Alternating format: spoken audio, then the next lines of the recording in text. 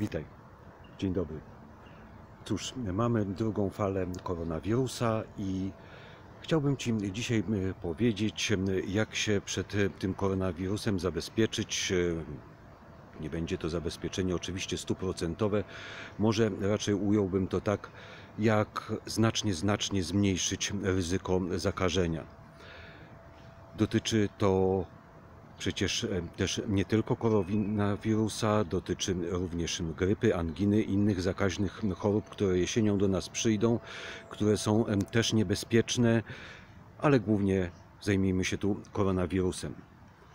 Może zacznę najpierw e, od maski, która wbrew pozorom jest nie bardzo związana z tym tematem, przynajmniej moja wypowiedź na ten temat. Potem przejdę do e, sposobów zabezpieczenia przed koronawirusem. Maska. Czy noszenie maski e, coś daje, czy jakoś zabezpiecza? Tego nie wiem, natomiast e, ja tą maskę noszę.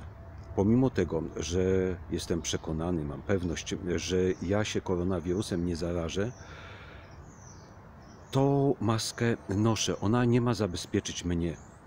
Ona ma zabezpieczyć otoczenie ludzi, w których otoczeniu przebywam i zabezpieczyć nie tylko przed tym, gdybym był jakimś nieświadomym nosicielem tego koronawirusa, ale także zabezpieczyć tych ludzi emocjonalnie.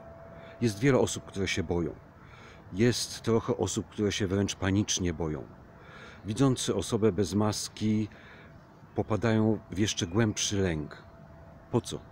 Po co mamy straszyć nasze otoczenie? Po co mamy sprawiać dyskomfort innym istotom, w tym wypadku ludziom? To nie jest aż taki wysiłek, żeby tą maskę nosić. Nie jest to żaden znak zniewolenia. Jest to znak szacunku dla innych istot. Dlatego Ciebie też do takiego postępowania namawiam. Teraz przejdźmy do zabezpieczenia się przed koronawirusem głównie przez wzmocnienie swojej odporności, zarówno psychicznej, jak i fizycznej. Tak, e, odporność psychiczna w tym wypadku również jest ważna. Jeżeli boisz się koronawirusa, wiem, że tego strachu nie da się zlikwidować, ale postaraj się ten strach zmniejszyć. Pomoże Ci między innymi w tym ten mój film. Dlaczego? Jeżeli ktoś na siłowni codziennie zajmuje się swoimi mięśniami. Te mięśnie robią się mocniejsze, staje się siłaczem, a jeżeli ty codziennie zajmujesz się strachem, ten strach też stanie się coraz większy i staniesz się strochoputem, czymś takim. A więc staraj się zmniejszyć ten strach. Zresztą myślę, że osoby, które znają moje filmy, które uważnie obejrzały przynajmniej połowę, a zastosowały się chociażby do jednej trzeciej, już wiedzą, że nie ma się czego bać, znają sposoby, jak się wzmocnić, jak wzmocnić swoją odporność.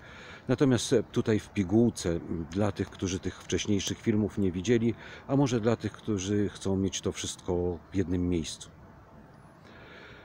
Cóż, żeby wzmocnić odporność, zacznijmy od czego? Zacznijmy od picia. Nie, nie chodzi mi o to, o czym myślisz. Zresztą w tej sytuacji alkohol jest, przynajmniej duże jego ilości, niespecjalnie wskazany do wzmocnienia odporności. Co pić? Jak zwykle, przez cały dzień dużo, dużo wody. Zawsze o tym mówię. Dużo czystej wody, która e, znacznie oczyszcza organizm i wzmacnia odporność. Natomiast dodatkowo Dodatkowo rano zrób sobie taki koktajl. Należy go zacząć przygotowywać już wieczorem. E, zalej łyżkę miodu, łyżkę, dwie łyżki miodu e, gorącą, ale nie gotującą się wodą w szklance. Zostaw na noc, niech to tak e, sobą przejdzie. Rano wciśnij do tego połówkę cytryny i wypij naczczo. Znacznie podnosi odporność. W ciągu dnia sok ze buraka, ale taki stuprocentowy, świeżo wyciskany sok z surowych buraków. On znacznie poprawia krew, a zdrowa krew to zdrowy organizm. Jeszcze tutaj też odniósłbym się trochę do jedzenia.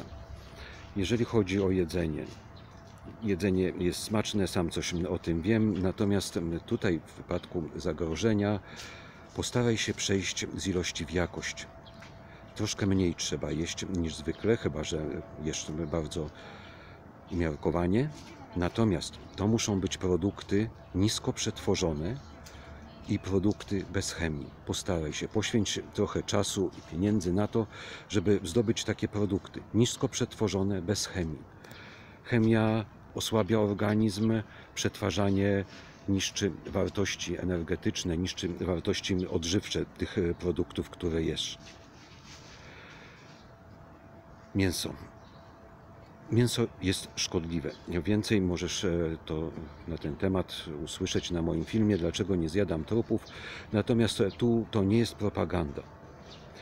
Wbrew temu, co wbiły ci do głowy babcie i ciocie, że mięso daje siłę, chcesz być duży i silny, to musisz dużo jeść mięsa. Nie.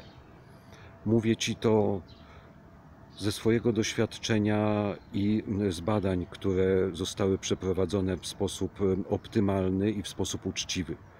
Mięso jest szkodliwe. Przynajmniej w tym okresie pandemii staraj się powstrzymać od jego jedzenia. Witaminy. Witaminy oczywiście, jeżeli jesz dużo warzyw i owoców, te y, surowych oczywiście, nieprzetworzonych, te witaminy są Ci dostarczane. Natomiast tutaj, jeżeli nie, w większości przypadków nie jest tak, że mamy aż taką zdrową dietę. Trzeba tych witamin dostarczyć witamin, mikroelementów.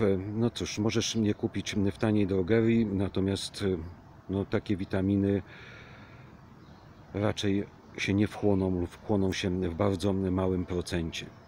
Podstawową rzeczą jest tu witamina C.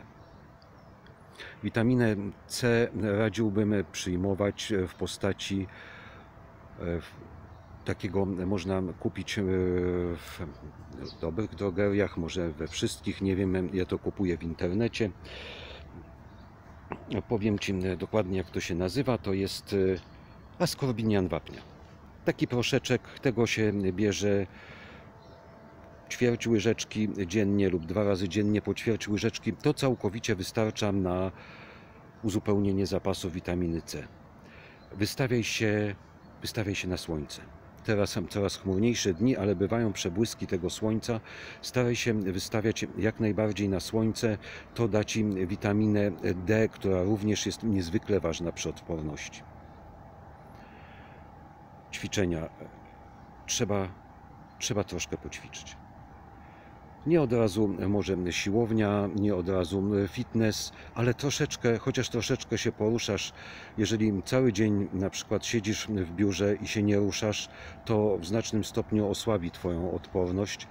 Postaraj się tak przynajmniej raz na godzinę wyjść, przejść się. Jeżeli masz taką możliwość, to e, chociaż na chwilę na świeże powietrze, e, nie wiem, pewnie pracodawca ci tego nie, nie powiedział, ale z przepisów, z przepisów bezpieczeństwa i higieny pracy wynika na przykład, że jeżeli pracujesz przy komputerze, taka pięciominutowa przerwa co godzinę pracy ci się należy i tutaj pracodawca nie ma prawa na ten temat z tobą dyskutować. Staraj się sobota, niedziela, wolne dni, przebywać w terenach zielonych, póki jeszcze te tereny zielone całkiem nie zjesieniały nam. Tlen również niezwykle ważny dla Twojej odporności. Cóż, e, oddychanie. Oddychanie, jak zwykle u mnie na filmach, dużo filmów zrobiłem na temat oddychania, polecam Ci je trzeba prawidłowo oddychać, szczególnie jeżeli e, dużą część dnia lub chociażby trochę spędzasz w tej maseczce, musisz e, te niedobory wyrównać. Oddychaj głęboko, pełną piersią. Oddychanie brzuszne jest tutaj e, mocno wskazane. Może, tak jak mówię, na jednym z moich filmów spróbuj takiej wersji 7 sekund wdech, sekunda zatrzymania, 7 sekund wydech, sekunda zatrzymania lub jeżeli to jest dla Ciebie y, za długo, to po prostu głęboki wdech, chwilę zatrzymaj, głęboki wydech, chwilę zatrzymaj, przynajmniej kilkanaście minut dziennie. Oczyszczaj się również psychicznie. Zdrowa psychika jest ważna dla odporności organizmu. Staraj się przynajmniej raz dziennie kilka minut pogrążyć się w całkowitej ciszy. Mówię o, o tym, jak to zrobić na moim filmie na temat milczenia, jeden z pierwszych filmów. Jest to bardzo ważne. To czyści umysł, dodaje energii, pozwala zwiększyć również odporność Twojego organizmu. Cóż, e, podnieś głowę, wyprostuj się, staraj się mieć jak najwięcej pozytywnych myśli. Przy takiej postawie mniejsza szansa, że zachorujesz. Taka postawa nie to, że ten koronawirus widzi i nie zaatakuje silnej istoty, ale taka postawa zmusza Twój organizm do pracy na odpowiednich wibracjach, zmusza Twój umysł, Twoją energetyczną osobę do innego rodzaju pracy. To również jest bardzo ważne w odporności y, na koronawirusa, również na inne choroby. Także odżywianie, oddychanie, czysty umysł, odpowiednia postawa to na przynajmniej 80% uchroni Cię przed infekcją, również koronawirusa. Cóż, jeszcze chciałbym Ci powiedzieć, taka rada malutka, jeżeli masz suche gardło, są osoby ze skłonnościami do suchego gardła, żeby nie straszyć e, ludzi tym Twoim ciągłym kaszleniem, e, zrób sobie taki specyfik, cebulę zalej miodem, jedna średnia cebula, łyżka miodu, wsadź do pieca, upiecz, zrobi się taka paćka, wyciśnij z niej sok, pij póki jest ciepły, to uleczy Twoje suche gardło, a przy okazji nie będziesz narażać się na dziwne spojrzenia otoczenia. Tyle na dzisiaj. Zapraszam Cię również na inne moje filmy. Wiele porad, wiele przemyśleń. Na pewno na wiele bolączek życiowych znajdziesz tam porady.